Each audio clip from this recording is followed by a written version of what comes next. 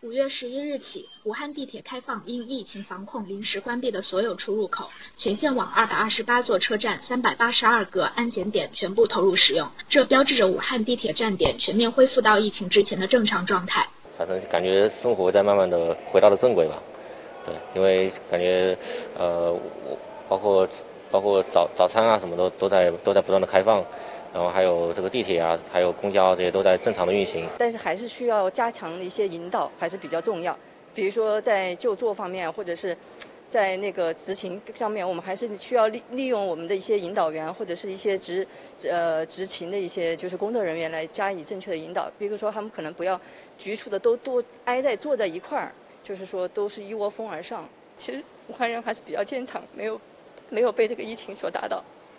记者当天在武汉地铁红山广场站看到，该站十三个出入口已全部开放。早高峰时间，地铁各个出入口都会有地铁工作人员提醒扫码，注意保持距离。记者注意到，从进站扫码、出示绿码、安检测温，大部分乘客无需提醒。武汉地铁红山广场站值班站长荣正新称，虽然开放了所有出入口，客流量增多，但是防控力度不减。所有的出入口都是正常开放的，我们也是加派了人手在安检点以及早晚高峰的时候，会在出入口进行呃帮扶，对乘客进行扫码的工作进行提醒。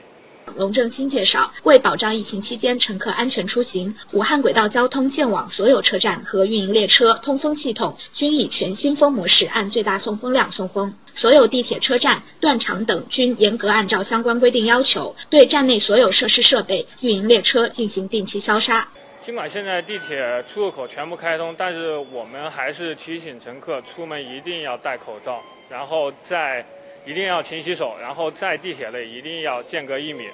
然后最重要的就是要扫码，一定要记得扫码，然后上下车也要记得扫码，这样为后期的工作就是减轻工作人员的压力，一定要记得扫码，这是最重要的。